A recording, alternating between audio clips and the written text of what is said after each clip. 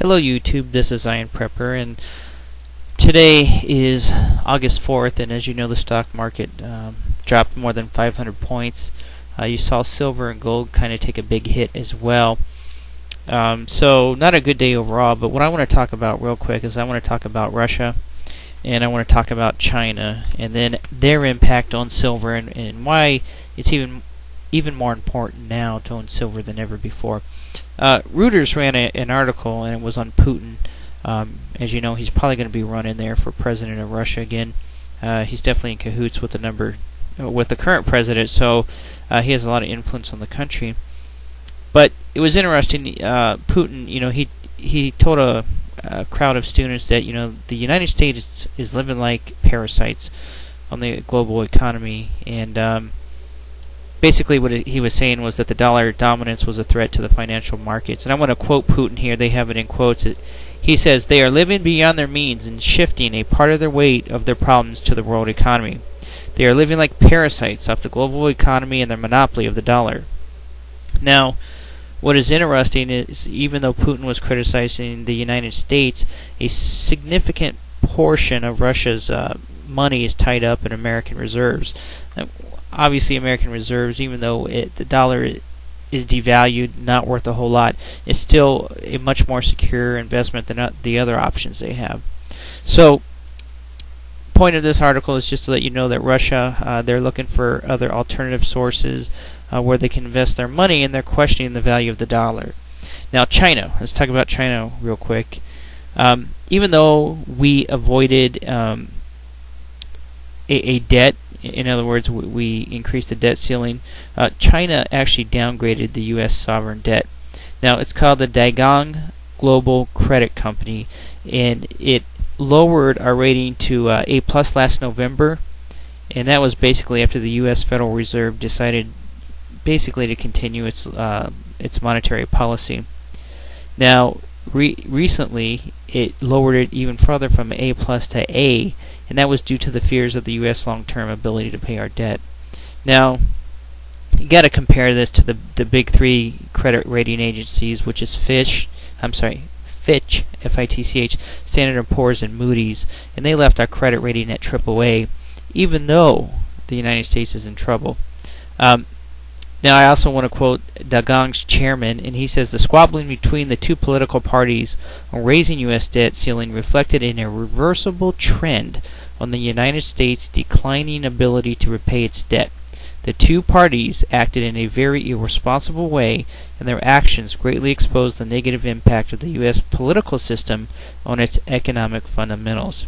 Um, and you got to remember, China is the largest, is the largest foreign owner of U.S. debt at approximately 1.2 trillion. So to say they don't have influence, well, that's not right.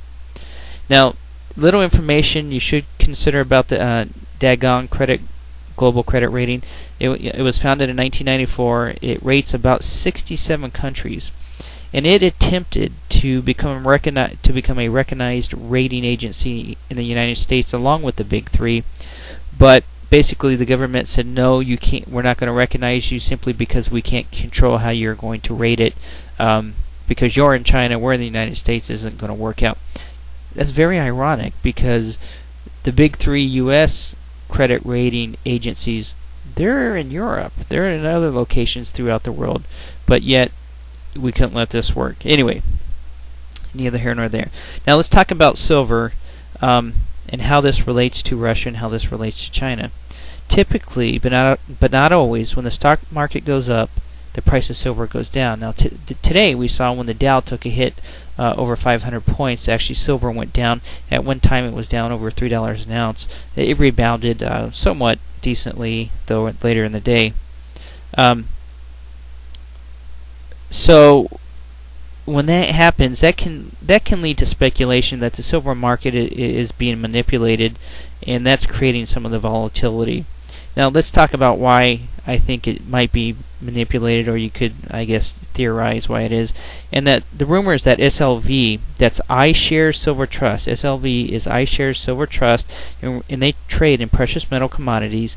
Um, they don't have the silver that they claim to have on paper. So what that means is if you own a share of S- SLV, uh, basically you can exchange that for X amount of silver. Well, there's more paper out there than silver. So if SLV was ever called upon to produce the silver based on the paper, it wouldn't be able to do that. So that creates some of the volatility in the market.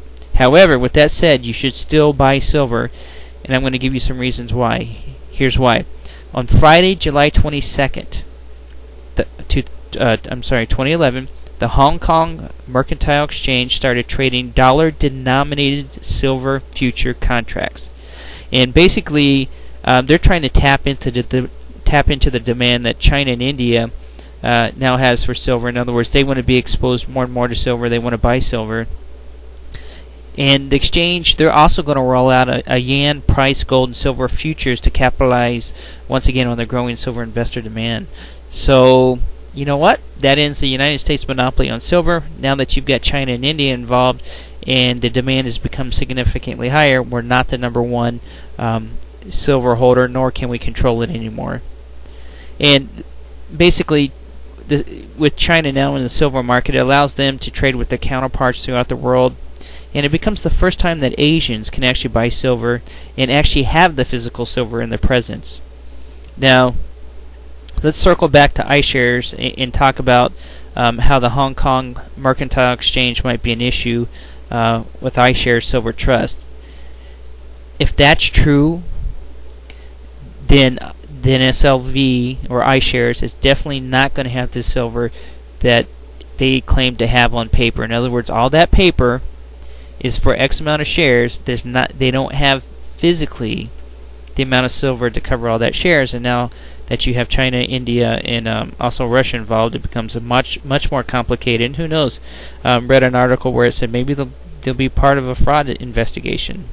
So in short, Russia and China, our two biggest holders of debt, have limited to no faith in our dollar. Uh, the U.S. is no longer a biggest biggest player in the silver market. China is in there now, and as India grows, we're going to only become smaller. So what does all this mean? It means basically the demand for silver is going to continue to increase. The faith in the U.S. dollar will continue to decrease, and U.S. durable goods and commodities will continue to rise. And what I mean by that is everything you buy um, is going to continue to rise. For example, in March, I bought white gasoline I use for one of our stoves. I bought it at Walmart for about seven dollars a gallon. You go now, and it's about eleven dollars, uh, ten, ten something a gallon, almost eleven, and that's all within the same year. Now, the question you have to ask is where do you want your dollars to go? In the bank where it loses value, or in silver where the future is extremely positive? So I know we've had a little volatility uh, this month, but silver has continued to climb in value despite the volatility. So, I'd be interested in your comments. This is Zion Prepper signing out. If you have any questions, feel free to leave me a message. Thank you.